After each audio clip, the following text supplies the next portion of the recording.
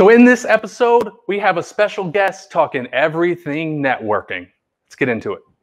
Welcome to the show. Event Masters. You need to listen to this if you want to throw bigger and better events. Learn how to monetize and land bigger racks. Yeah, this is where you can learn how to do that. Event Masters. Welcome to episode eight of Event Masters. I'm your host, Dylan Shinholser. Alongside of me, got it wrong again, Patrick Van Dusen. What's up, man? Hey, hey. Networking. Uh, it's the networking. networking. We got a guest. You guys don't have to stare at our faces, and our podcast viewers only listen. Or view, I keep saying viewers. Uh, podcast listeners only have to listen to Patrick and I. We have a special guest in this virtual building. Um, and I'm going to let Patrick take it away. This is his friend, his cohort, one of our friends here at ViewStub. So, Patrick, go ahead and introduce our guest. Yes, excited. So, we got Jason from Hio Social. Um, it's awesome to actually have him as our first guest. We've known him for about a year and a half. It's actually funny the way we met was through Michelle McNabb. That's going to be a guest on the show uh, here in a few weeks. Uh, so we met Michelle, and then she was like, you have to meet Jason with Hio, networking, networking, networking. We're like, we love networking, right? So then it got introduced, and um, Jason and, and Spencer and I have just been pretty much internet buddies, um, you know, working together and whatnot for like a year, and uh, it's been great. So when we started, they were like, "Hey, let's bring on guests on the show." I'm like, "We got to do a networking one," and then Jason in- instantly popped on the show. I texted him and I was like, "Jason, you want to be on our show?" so it was awesome. And, and fast forward to now, he is here. Jason, what's up, man? Ah, how's it going, guys? It's hey. going. It's going. Welcome to uh, Event Masters. We appreciate your time today, and uh, I know this is really going to be a cool episode. I know all of us are, are big fans, and everyone watching is big fans of networking and how it plays out in person, how it plays out virtually, how it plays out in general. Um, we're going to be talking all about it today. So I'm excited, man. I'm excited. So, uh, Patrick, why don't you kick us off? Let's get, or actually, let's before we go yeah. into Patrick, let's, let's go right short to bio Jason. of Jason. Yeah, let's go right yeah, to Jason. Jason, Jason. A, a little bit of like you know who you are, how Hio came about, and you know what what got you into the networking niche in events. Sure, sure. So. Uh, when we first started the company uh, called uh, Hio, it was Hio actually stands for Hit It Off. So we span the entire relationship journey from hitting it off in person or virtually, uh, taking the relationship digital by swapping info, contact info, socials, documents. Uh, and then we have a whole suite of follow-up features to let people uh, get back in touch with one another. And when we first started it, it was just something that we thought would be used at events kind of casually. And as we started to go on, we realized that uh, event organizers really wanted a solution like this for their in-person events uh, when COVID hit, we pivoted and did virtual events uh, and stood up a, a, virtual events platform. And most recently, pivoted into a space to support other event uh, companies and their organizers by rolling out a networking as a service product. That's been uh, wildly popular, just kind of growing like wildfire right now. And so, uh, just excited to be here. Um, as you kind of said in the intro, we've been friends over a year now, and um, always enjoy your company. And uh, love that intro video, I must say too. I got to kind of view that backstage, and I was like, smiling ear to ear at how cool it was. Yeah, well, awesome. we appreciate that. Yeah. And um, I mean, how many networking events have you think you've done so far, like hosted or been a part of? So we've either we've easily hosted uh, over 2,500 networking platform. Yeah, uh, I haven't. Although although a lot of customers try to get me to go to their their specific events, I, have only probably been to a couple hundred of those. Mm. But you know, in person um, was was really difficult to get to every single event, and it's cool now that people have been using us in the virtual space. Uh, you can just pop in for five or ten minutes, meet some of their guests, and then pop back out. So uh, you can you can definitely get more touch points with virtual. Mm-hmm. Yeah, and um, fun fact, you know, ViewStub or Event Masters would not be here if it wasn't for a networking component of a event. Um, so that, that's how I met Spencer, the the co-founder of ViewStub, was through a networking event. Imagine, like, so much stuff just comes out of these events. So that's awesome. Yeah, yeah absolutely. They, they put a value of, you know, obviously you guys are have partnered now, but like when you go to a networking event, the average value of each person you meet, if you ever end up doing business, is about $4,600. So you just never know who's next to you, what you might do. You know, if you meet someone a couple years late down, a couple years later down the road, uh, you may end up going into business or, or you know, having a romantic uh, endeavor. So you just never know what networking will, uh, what will come from networking. Yeah, and they say your network is your net worth. So, um, and even even Dylan will tell you uh, here, you know, what we do over at ViewStub so much work and clientele and partnerships have just come from networking. That's where your best customers come from. So it's amazing. Yeah. And you know, one of the one of the things that we always say to people is when you're networking, just kind of turn off like any ask, turn off any any per, anything that you want, right? Just listen, just be open. You know, the worst thing that could ever happen if you're networking and, and you don't end up getting a contract or going into business with someone is you make a new friend, right? So showing up authentic and uh, and trying to hit it off with someone, find that common that common thread that bonds you, and just see where the relationship will go from there. Mm-hmm. Yeah, even if you just have a conversation with someone at an event, you know, if you have nothing in common, even if like they're growing a business that has nothing to do with you, or there's like literally no opportunity to move forward, you can still at least connect with someone and share like the same challenges and feelings that they're going through right now. Yeah, and and you, I mean, you hit the nail on the head because that's what I was going to ask you is like, what's your like top t- uh, trick or tip for it? But you hit on the, you, you beat me to it to be honest, and it's that don't talk about yourself kind of thing. I'm, I'm a big proponent in that too. I, I when I go to network, I, I, think I feel I sometimes leave conversations with people not knowing my name at times because I'm I'm always asking mm-hmm. questions. I want to know you because I like if I feel like if I put the ball in your court, that's relying on you to then call me and all of that. I've always just wanted to learn more about people, and I take that time in networking. Uh, and I always tell Patrick, and I always and he agrees, and our team. You give people a reason to talk about themselves. They love it. Um, and that's mm-hmm. great. That's really the, and that makes networking easier. I think a lot of people. Is there anything advice on uh, like for folks who do struggle with networking? Because there's not like we're us three people, and I'm sure a lot of people watching this are are, are charismatic enough to be able to carry conversations and networking and, and go into those environments. Do you have anything for the folks who aren't that way? Yeah uh, just a general tip like no one wants to feel like they're being sold anything when they're meeting a new person. So you know i always say first seek to understand and then seek to be understood. So you go into a, a networking event and it's all about them. What brought you here tonight? You know do you know anyone else? Did you come with anyone? Um, the the the people that kind of bounce from person to person what do you do for a living? Nope nope. And then they just what do you do for a living? What do you do for a living? I don't even ask people what they do for a living because honestly, you're not going to make a sale right in front of me, right? Unless you're selling something out of your pockets. So it's like, what do you do for fun? What brought you here? Do you usually come to these types of events? You know, once you start to build a foundation of relationship, then you're going to find out on LinkedIn or some other time what they do, or it might come up in conversation. But I, I would definitely always lead with find out who that person is. You might make a great friendship out of that person. Don't care one bit about what they do, but unfortunately, people go so strong and they're just churning and burning. What do you do for a living? Nope, you don't fit my goals here for tonight. And there are goals networking that you could have, but no mm-hmm. one wants to just feel like they're being burned through really quickly to get to someone's target market. Mm-hmm. That that whole uh, here's my business card, here's my business card, here's my business card uh, approach. it's my favorite. I walk home with like 52 business cards and throw them away. So, uh, well, you're saying you don't walk into the event and just throw your business cards in the, up in there? Oh, I, I actually what I do is I walk in, I slam them all down on the table and say, "I'm here. Take one. Call me," and I walk out. That's how I network. oh uh, uh, no, so that's super. So uh, let me let me ask you this because uh, I want to segue in this into events and from an organizer point of view. Uh, do you have any do's of don't or do's or don'ts? Because that comes from like a actual networking, being the person at the networking event, uh, connecting, meeting the Patricks and the Jasons of the world, and and then going on after the event to connect. Now, as an event organizer, um, do you have any do's and don'ts for us as organizers putting on networking events that you've seen uh, either virtually, in person, all of it that you've seen better success with if they build it right or strategically think about it right? I think a lot of people just think networking is I want to give some drinks and people will do what they want with that. Uh, and I think there's more intentional ways. So I'd love to hear your your opinion on that.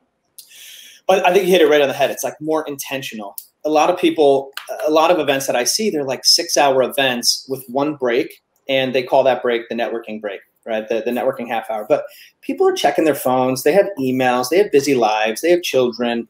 Uh, they have to use the restroom. So when it comes to virtual events, building in more more frequency of networking to allow these random collisions to allow people to be in a lobby and connect the the more downtime the better. We've all been to in-person conferences or in-person events where you know it's that time where you're at the bar it's that time where you're checking your phone and someone sits down next to you. Those random collisions that really you're in a, a vulnerable space and you're like hey you know what are you what, what are you up to? What brought you here today? Those types of of uh, breaks i think are just so necessary for building relationships.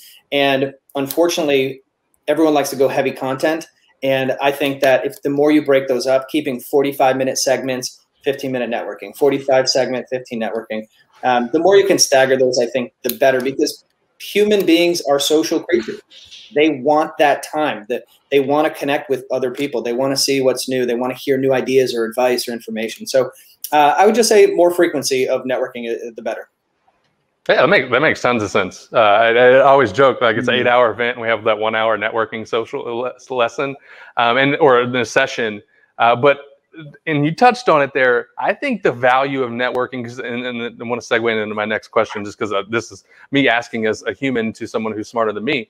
Um, you know, with the in-person environment, I say this all the time. There's big differences between virtual networking and in-person networking, and you touched on it because there's a serendipity of in-person encounters that just can't happen virtually, right? That guy you sit down at the bar and you happen to hear him talk and he ends up being the CEO of a major corporation, or just that, like you said, you put your phone down and sit outside and then someone else comes and sit next to you and all of a sudden you're like, wait, you're like the VP of sales over at this company or X, right? And so the serendipity of that, do you have you seen that be able to play itself out as much in this virtual environment, or is there any way that you can intentionally try to create those moments, or is it possible? It is possible. It's actually something we're, we're solving right now with, with the product that we're rolling out. But the the virtual landscape historically has not because what you know when you look across a room or you have these moments where you're posted up at the bar or something they do lend themselves to a random nature uh, a guest list is not so random as you're just scrolling through it so you, you do find people kind of headhunting with a guest list uh, we're baking in you know a shuffle feature show me someone new show me someone interesting uh, and then they'll just pop up in, in a random video collision with you. So I, I, do think there's ways to be intentional about showing people they wouldn't otherwise connect with, specifically when it comes to networking and meeting new people and building relationships. When you have um, some products out there like like you know networking apps and things like that, when they're only like swipe esque, right? Swipe left, swipe swipe right you think about your friends. Not all your friends are the most beautiful people or you know don't have any flaws. So just networking based on appearance is kind of ridiculous to me personally. You know mm-hmm. I, I, like to, i want to randomly serve you up someone that is thoughtful is considerate is collaborative is upbeat and positive uh, rather than just serving you up someone that i think you might be physically attracted to or something like that. So um, we're building in tools to make networking more contextual and less transactional. That's amazing yeah. Very fine point. Yeah, that, I mean, and you hit the nail on the head because, like, that's what I think organizers, especially in this virtual world, struggle with is how how to create, and then because they're always trying to recreate that in-person environment, which is a whole other conversation. But how can are there ways? Is there abilities? Are there apps out there uh, like Hio and what you're got what you're building? And we will definitely get into that uh, in here in a, in a couple minutes. But um, that will allow and maybe create some of that serendipity, as they call it um, around the randomness. Because you are right. When you know with a lot of these networking apps that i think both patrick and i and of course you have seen it's like a list and then they create their little bio and then i can you know i can choose if i want to network and network and network with them from there. But they strategically wrote that bio that says they're great and you know all of this good stuff. But uh, like you said, you know, uh, if I'm just swiping right, basically, it's I'm looking at the surface level of things when most serendipitous moments come from just that random, you have no idea, never thought it would happen, never would have happened uh, unless for that random occasion. So um, it's cool to hear and see that it can be played out online. Yeah, and and uh, you know they happen in in these situations where you let your let your guard down, and mm. chips come in all shapes and sizes and colors. And so you know to be able to serve you up someone we think you might be interested in, regardless of all those things, uh, is something that we're really proud of, and we think that people will um, will be able to hit it off in a, in a more intentional way moving forward. Yeah, I'm excited for that. I'm ex- I'm excited to to even hear more about it in this episode. Uh, but yeah. yeah. I mean, it's go go for it, Patrick. Oh no, you go. Sorry. no uh, so yeah, so I wanna I wanna break this down a little bit because we're obviously still in this little weird time of of virtual, hybrid, in person. Are we going back? Are we not? Um, I got I have a question because I have my own philosophy on this and feedback, and I love love talking to other people who are smarter than me. Um, how do you see networking from a virtual to in-person environment, a hybrid networking, playing itself out? Right, because right now we're all virtual. Now we know what that looks like. We know what in-person looks like. We're going to talk and collaborate, but for us event throwers and event producers and alike that are putting on hybrid events, how how can we or should we be integrating and bridging the gap between our virtual and in-person more so. Did that have you thought about that and how that looks oh, yeah. for your world?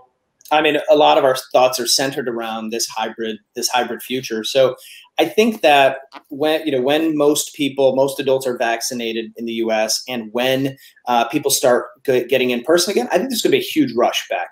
Personally, I think oh, yeah. there's a huge rush, and then I think people are going to realize, you know, I like sitting in my office and doing this, you know, more conveniently. So I do believe in a total hybrid world, but I think there's going to be a rush at the end of summer, early fall in, in terms of in person.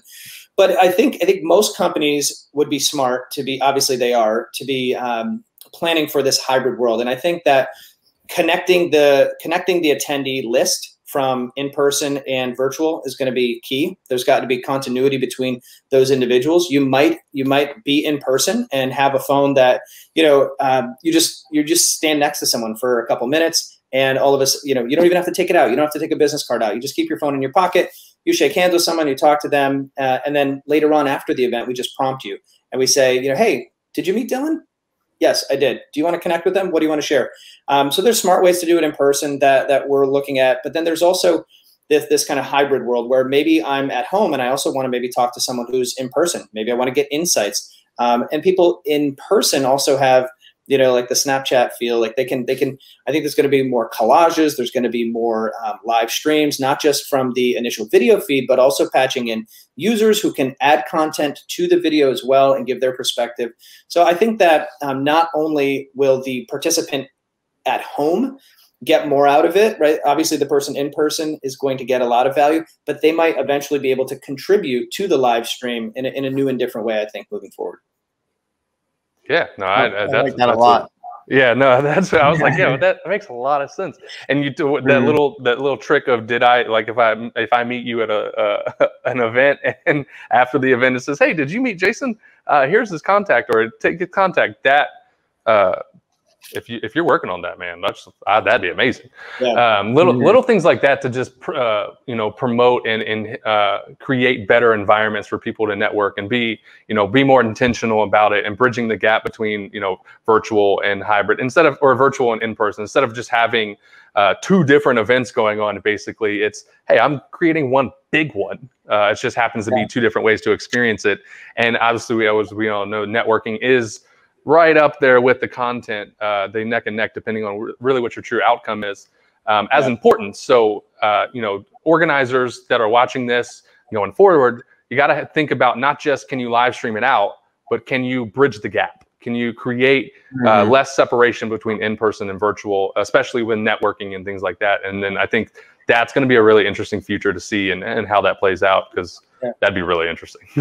imagine, uh, imagine if ViewStub did it right. You had like an Instagram takeover like feature where you have this mobile app and you're streaming it to a million people, but you have 30 people because of their specific ticket or they're inclined to be social in nature. The timer's like, hey, in five seconds, you're going to take over the feed for everybody, right, all across the world. Uh, and you allow them to show their own perspective. Oh my gosh. I can see that so many good things. But yeah, I, like, like I so many good things, but so much run with it if you wrong.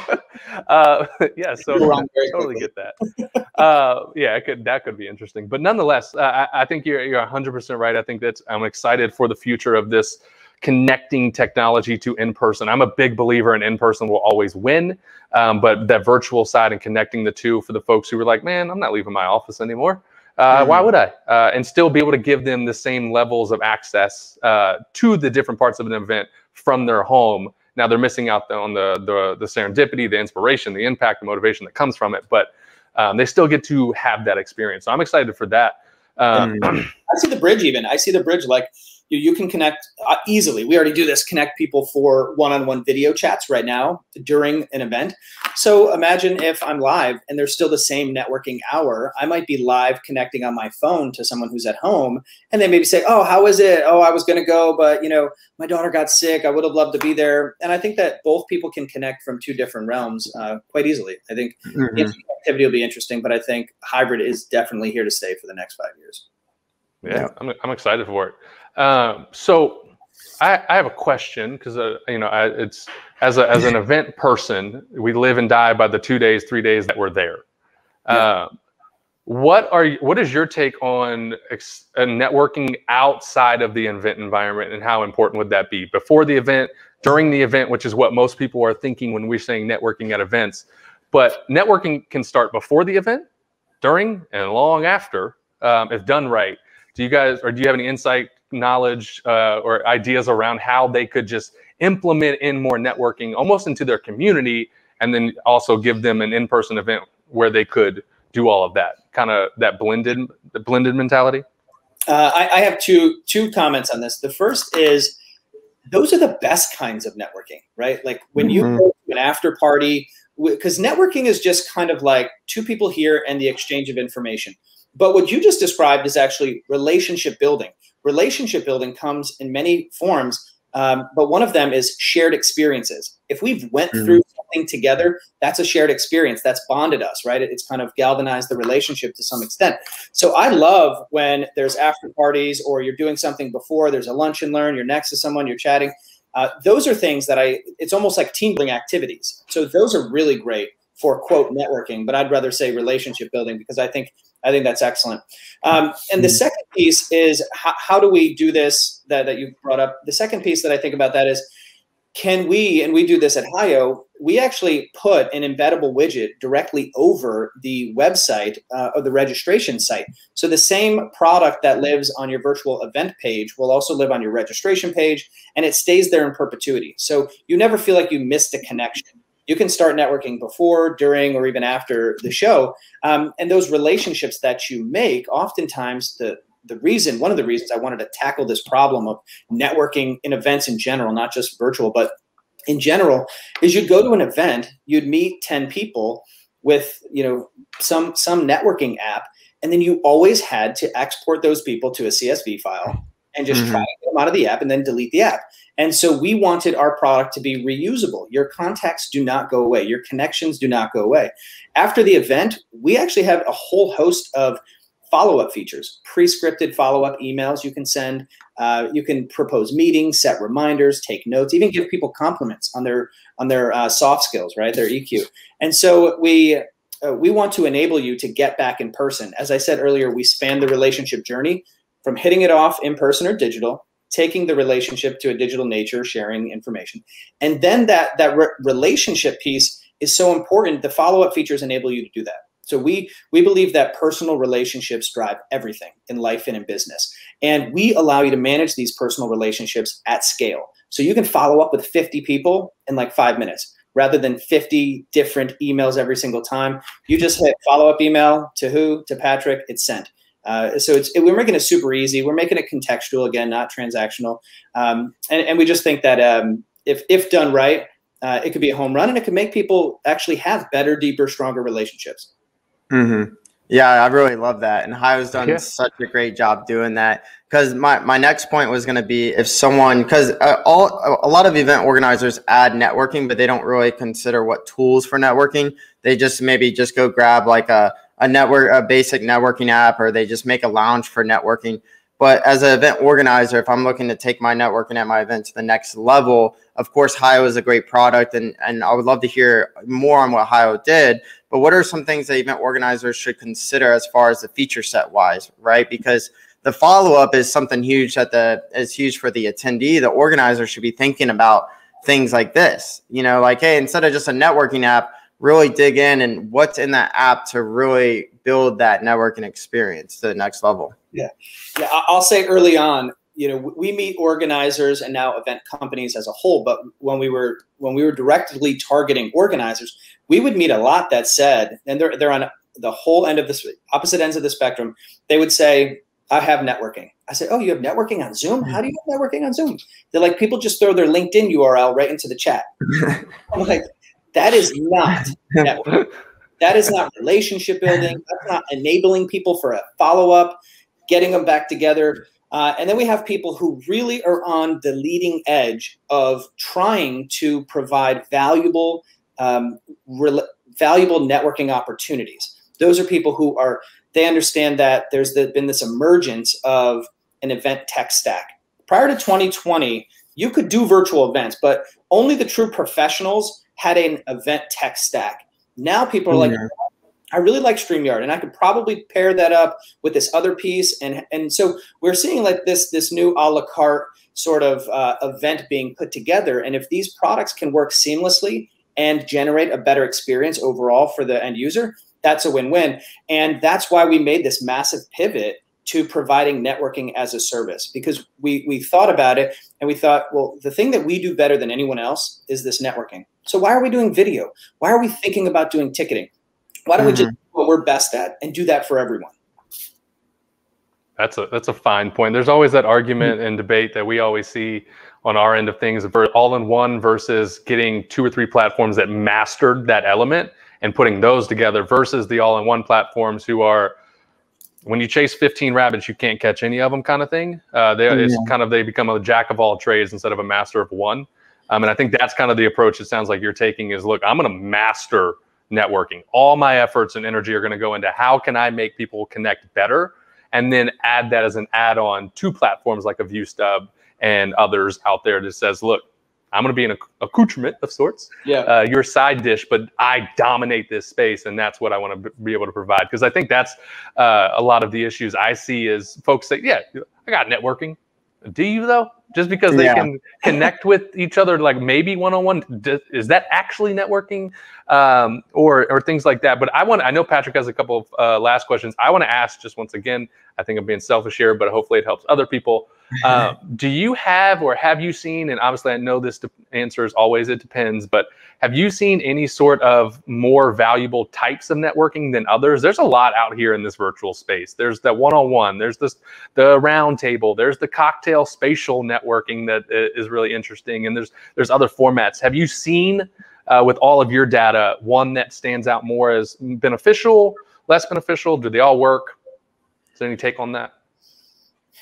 I, th- I think um, I, I don't. Like, it's all of it. I, well, I don't think I don't think there's really like a clear uh, company that is providing networking in a really efficient manner. Because again, networking is a journey. So no one's setting you up for managing these connections ongoing. You know, unfortunately, it's actually Hio. Uh, I hate to make a shameless plug there, but it, it's Hio that allows you to span that journey. But I think I think some people do a really great job of creating environments where people can meet one on one, they can meet in a group. Not hmm. everyone mm-hmm. wants to take that risk to meet with someone one on one for 15 straight minutes. Uh, we have found that six minutes and 40 seconds is the most ideal amount of time to hmm. spend mm. With a stranger uh, for any one on one engagement. So we were capping our one on ones at seven minutes, six minutes and 40 seconds, and then 20 seconds for, hey, we should connect sometime. Uh, but 15 minutes, you know, you really have to limit the initial engagement, right? People can't be on for for 15 straight minutes with, with any one person. And, and that really goes to diversifying the number of opportunities you have for networking at events back to that original point of, of the frequency, getting that dosage and intensity up of networking sessions. Because what if you get cornered for 15 mm-hmm. minutes, one person who really wants to tell you all about their business? You've just squandered your one opportunity in eight hours to, to talk to people to build relationships so you know definitely sprinkling in i think um, I, I, haven't found any that really do it the way that that people want it to be done i think that tables are a great way for introverts to consume uh, yeah consume um, a bit of information and kind of process it before they speak they don't feel like they have to be on uh, right away so i think tables is a really good way to dip your toes in if you're if you're an introvert and i think that um, the one-on-one conversations out there that they're, they're much too long in terms of length. I think that if people brought it in under 10 minutes and just shuffled people around more frequently, that that people would much rather that. At Hio, we go a step further. Instead of plopping you, Patrick, into a meeting with me and then great, okay, you're going in with Dylan. Um, after that meeting, we just take a little break. Hey, did you guys hit it off? Thumbs up or thumbs down, right? HIO stands for hit mm-hmm. it off.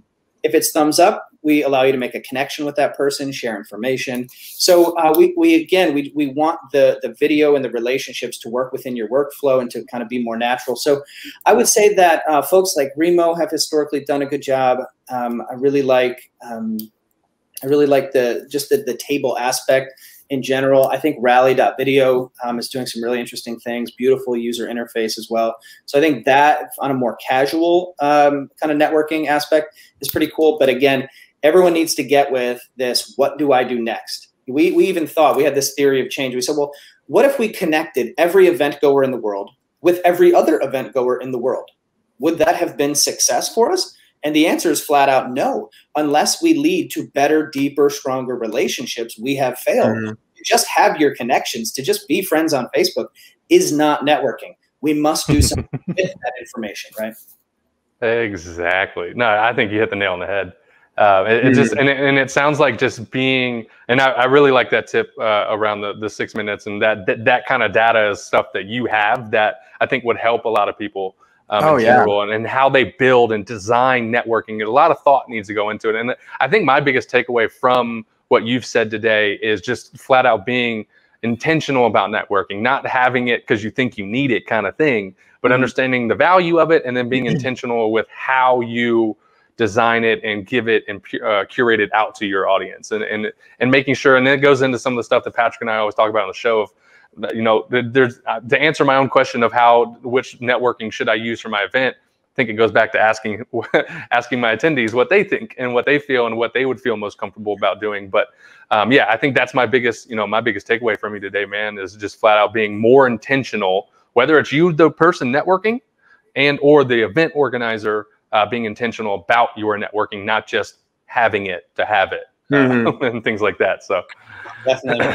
One thing I'll just say before we close is um, just back to the original point. If you get busy collecting friends and having friendships, having friendly conversations, eventually we know friends will do anything for us and we'll do anything for our friends. That includes doing business with them.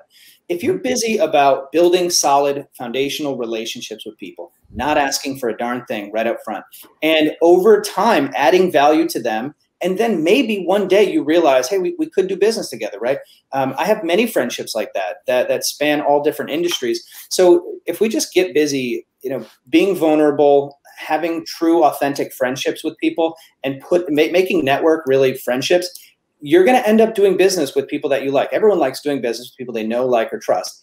Well mm. networking's tough right? I don't know you. How could i trust you? Um, it, it's really difficult uh, there, that to do all of those three things, know, like, and trust, uh, in the first meeting. So this is a long build the foundation. Maybe three months there's an ask for you, but other than that, just start collecting friendships.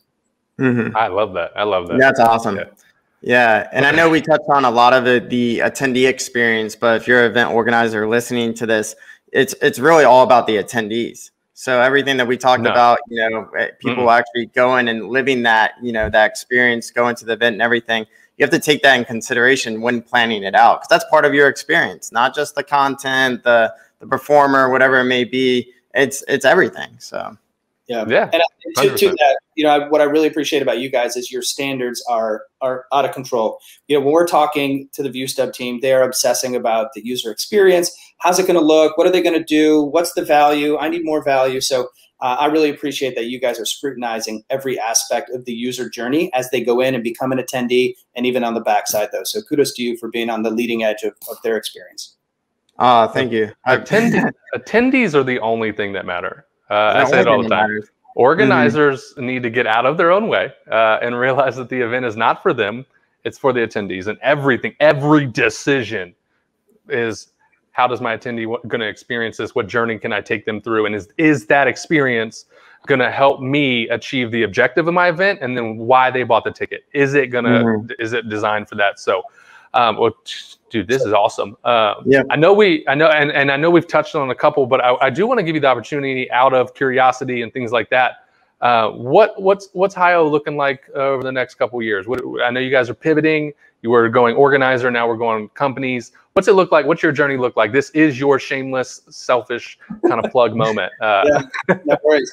Um, so so right now we we're finding a really sensational demand with large event companies that put on events and trade shows and conferences and they're looking to add a real-time social dimension. So they resell our product out to their clients uh, similar to, to viewstub and others.